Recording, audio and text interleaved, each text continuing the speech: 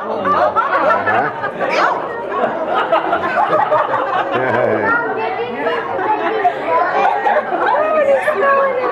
my god. I'm naughty.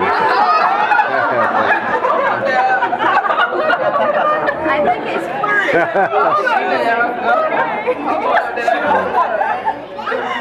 funny. You're nasty, son of a gun.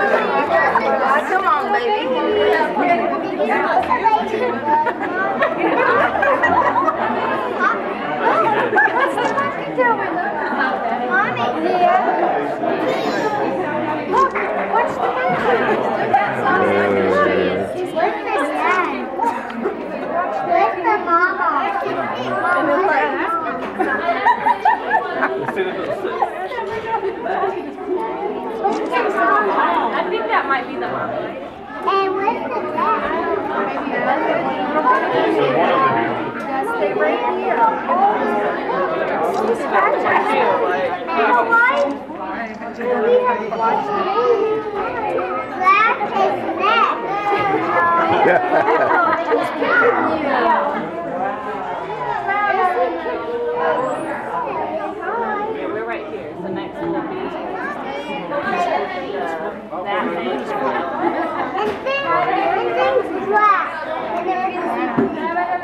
Then missed the picture.